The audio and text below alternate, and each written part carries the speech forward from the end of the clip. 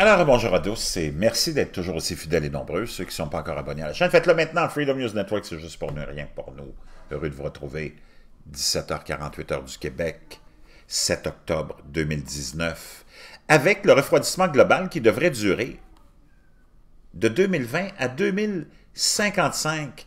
Il s'avère que le monde ne va pas finir dans 12 ans. Ah ben tiens, tiens, tiens, on était sûr que c'était pour finir dans 12 ans comme l'ont si fermement affirmé les médias et la fameuse OAC, euh, Alejandra Ocasio-Cortez. On va l'écouter, justement.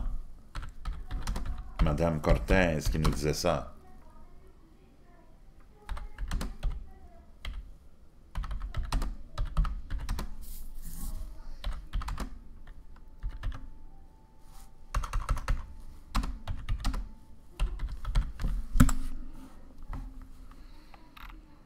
Donc, pour New ceux qui s'en rappellent pas, phones are taking the on country a Mademoiselle Ocasio-Cortez qui nous disait le 22 janvier 2019 hein, que, eh oui, end in 12 years, and we're like, the world is going to end in 12 years if we don't address climate change. And your biggest issue is your your biggest issue is D'abord, elle a une étiquette en dessous de la chaussure. Moi, j'ai presque, si je pouvais la, contacter, je dirais, quand tu t'achètes des chaussures, peux-tu prendre la peine d'enlever les étiquettes, s'il te plaît? Avant de te préoccuper de la fin du monde, enlève les étiquettes de prix en dessous de tes chaussures. Bon, ceci étant dit, ça, c'est le 22 janvier. On a ces... Moi, j'ai rien contre ça, de quelqu'un qui veut vraiment, tu sais, qui, a toutes les choses, qui prend des choses à cœur, qui veut être un activiste, qui veut améliorer le sort de l'humanité, mais de venir nous raconter des sornettes, des imbécilités, des idioties comme ça, il y a de quoi devenir fou. La fin du monde dans 12 ans. Les banques continuent à prêter sur 35, 40, 50, 70, puis même des amortissements de 100 ans. La fin du monde dans 12 ans. Les banques qui ont manqué un petit bout d'histoire, là, faudrait aller leur dire qu'ils arrêtent de prêter de l'argent sur plus que s'ils veulent profiter un peu de leur retour d'argent sur 10 ans maximum.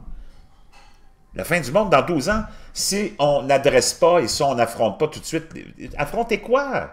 Les changements climatiques. Avec quoi? Avec une épée? Avec un bouclier?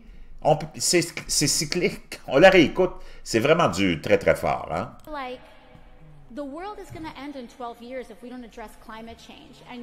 Ben là, ça veut dire que tout ce monde-là qui sont bons à rien, qui continuent à se promener en avion, en jet privé, en Hummer, qui ont des films à aller promouvoir, qui ont des spectacles à aller donner à gauche et à droite en, en jet privé, en bateau, ces artistes qui font des tournées, tous ces hommes d'affaires qui font des échanges continuellement.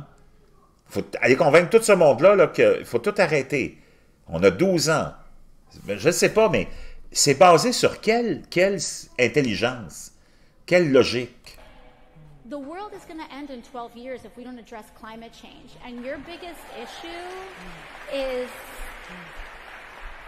your your biggest issue is My biggest issue is your fucking sticker under your fucking shoes. Ton étiquette en dessous de ta chaussure. Pour l'instant, c'est ça mon plus gros problème ça me tombe ses nerfs. Puis là, elle est tellement condescendante, elle dit, là, la fin du monde, c'est dans 12 ans si on n'adresse pas ça. Puis là, vous autres, le petit monde, là, votre, votre, de façon très condescendante, votre plus gros problème que vous avez avec ça, c'est de savoir combien ça va coûter. Oui, parce que déjà, on est cassé comme des clous, puis il n'y a rien qu'on puisse faire. Puis là, vous avez une idée dans la tête, c'est de nous plumer, puis de nous mettre un autre mode de vie, puis de nous obliger à vivre selon votre nouveau mode de vie pour vous donner bonne conscience. Oui, on veut savoir comment est-ce qu'on va payer toute cette folie-là. C'est incroyable.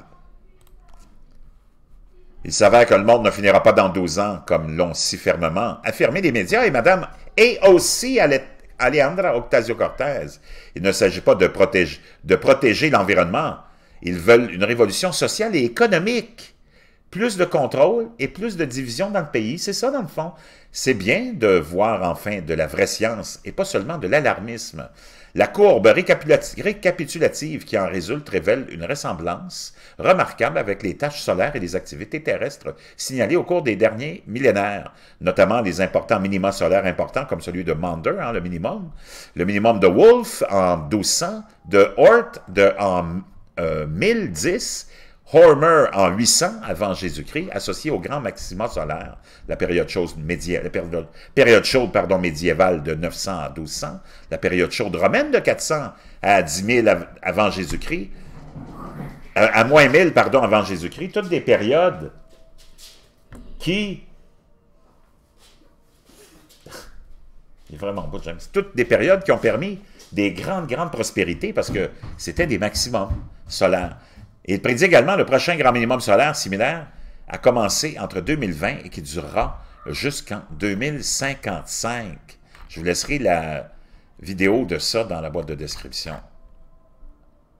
Je ne sais pas si il y a quelqu'un qui pense encore que la fin du monde, c'est dans 12 ans, mais si les banques continuent à prêter sur du 50 et du 75 ans, on a au moins encore pour euh, un autre 1000 ans, parce que les autres, ils veulent se faire rembourser. Je vous reviens.